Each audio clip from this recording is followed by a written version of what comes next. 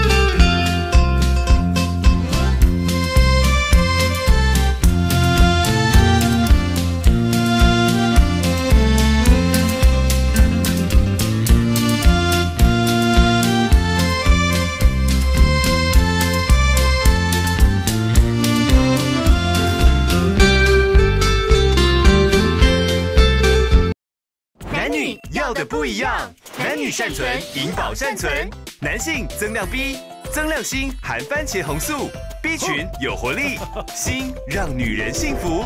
女性增量铁和 C，增量钙，铁和 C 好气色，钙让骨骼健康。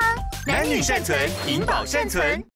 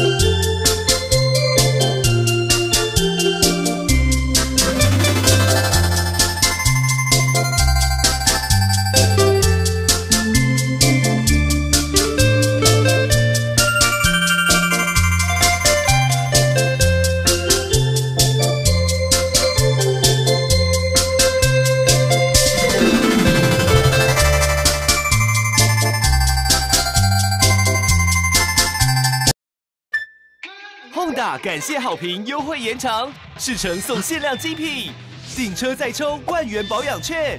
本月入主送五年延长保固，再享五万旧换新。入主加码抽可独得现金一百万。哇轰打年终够有礼，即刻出发去！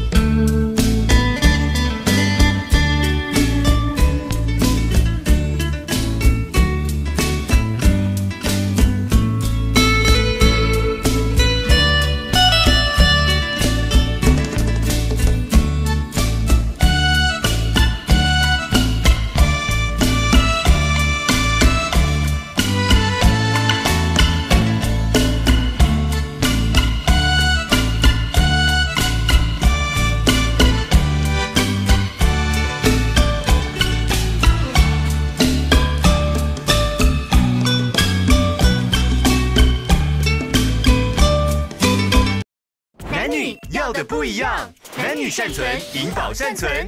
男性增量 B，增量锌含番茄红素，B 群有活力，锌让女人幸福。女性增量铁和 C，增量钙，铁和 C 好气色，钙让骨骼健康。男女善存，银保善存。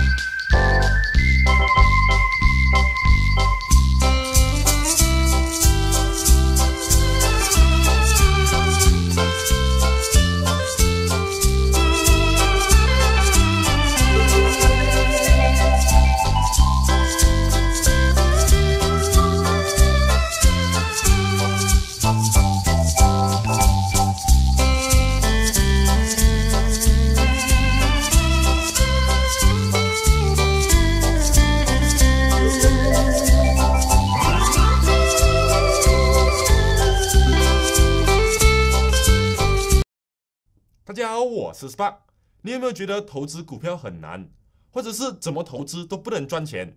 今天我想跟大家分享一个简单投资股票的方法。我要分享的其实是以德罗上的复制功能。那到底什么是复制功能呢？意思是大家可以直接复制以德罗里任何投资者的投资组合。